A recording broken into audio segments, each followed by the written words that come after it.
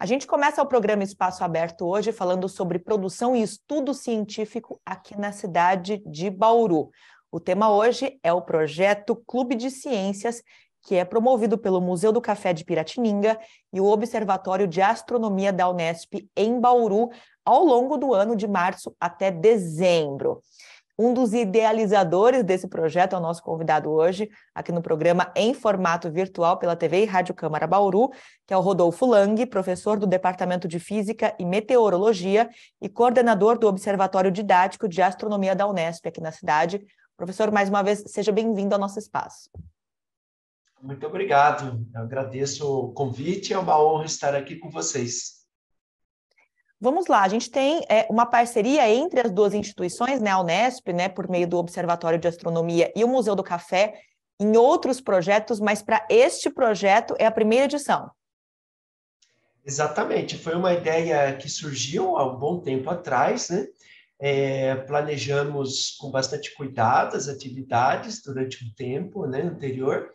A, a ideia era ter lançado o, o, o ano passado, mas é, em vista de alguns problemas lá né, da pandemia, né, e, e, outros fatores, a gente resolveu planejar com bastante carinho e fazer o lançamento para 2023. Uhum. O que deve contemplar esse curso? Afinal de contas, é um curso de quase um ano de duração, né, professor?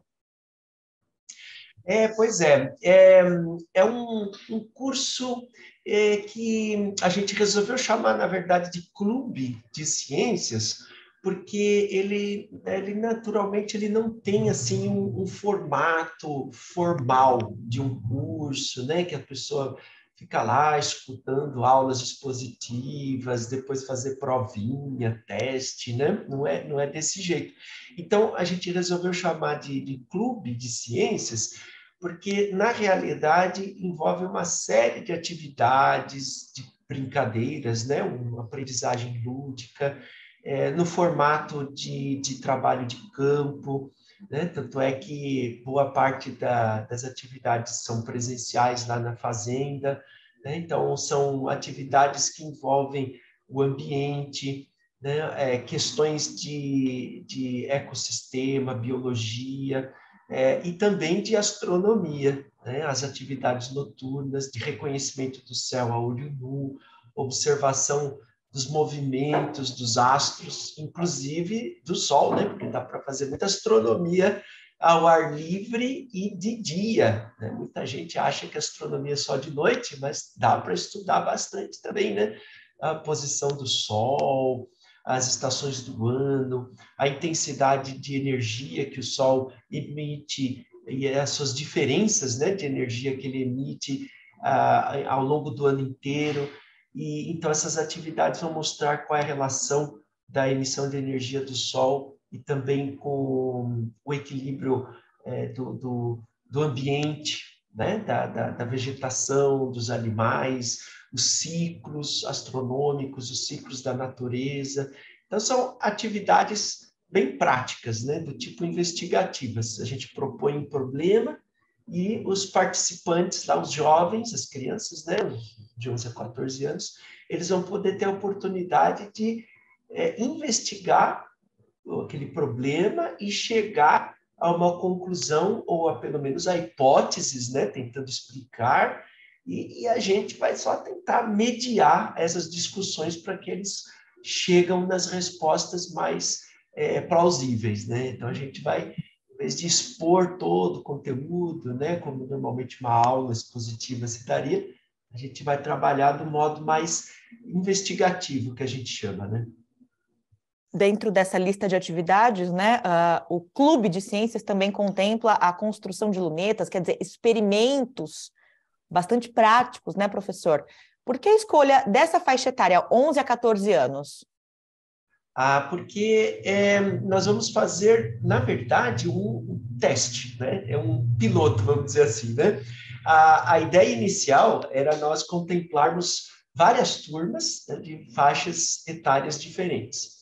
Mas, no final das contas, nós tivemos que escolher uma faixa etária única para que uh, a gente fizesse uma, uma espécie de, de piloto para ver se daria certo, que daria errado, né? Para a gente melhorar as, futuros, as futuras edições do Clube de Ciências. Então, essa faixa etária costuma ser, pela nossa experiência aqui de atendimento no observatório e também lá com o Guilherme, né, no Museu do Café, é uma faixa etária que costuma ser bastante curiosa, né, bastante é, interessada em vários temas de ciências. Né?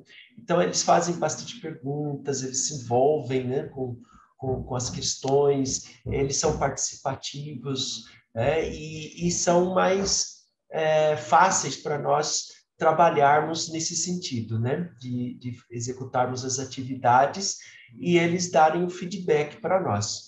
Então, essa faixa etária de 11 a 14 também é a faixa etária que, é, na escola, ou seja, na educação formal, né, na educação escolar, eles também trabalham diversos conteúdos específicos de ciências é, que nós queremos abordar no Clube de Ciências. Então, é, tem essa coincidência também, né? O fato deles trabalhar esses conteúdos na escola, é, nós também vamos trabalhar lá no Clube de Ciências. Uhum.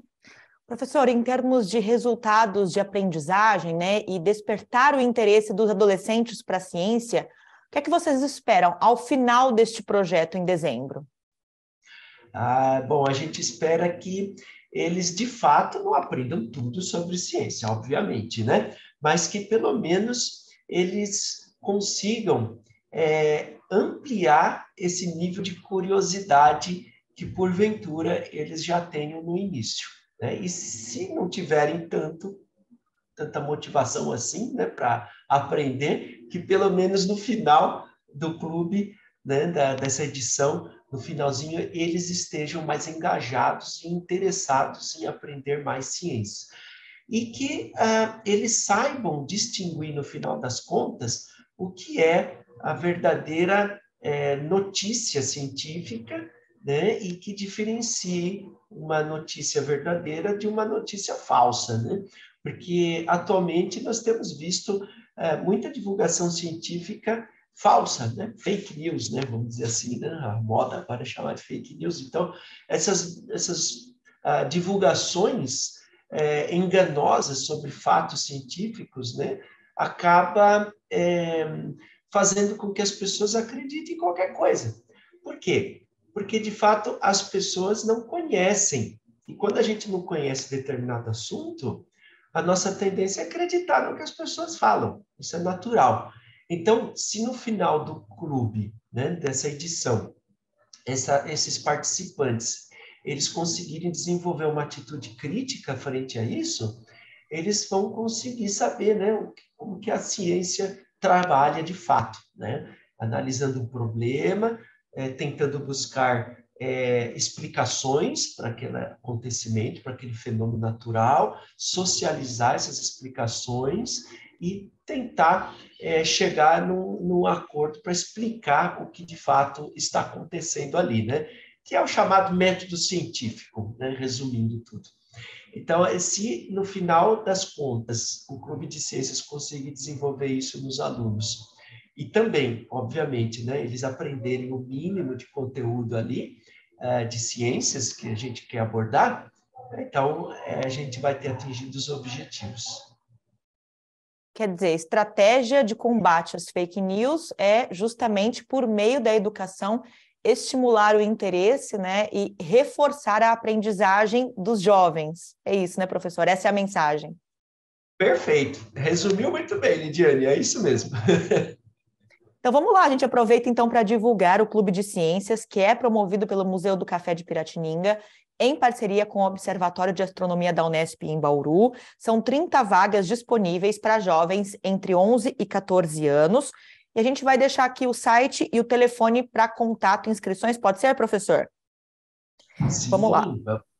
Estão todos convidados, né? E vamos é, se inscrever, né? O, o, importante é a salientar aí que no ato da inscrição a gente pediu para que a criança escreva uma justificativa, né? Por que deseja participar do clube?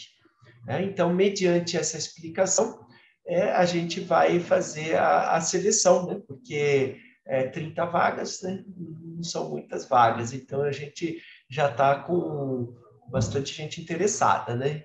A gente precisa selecionar, infelizmente não dá para atender todo mundo.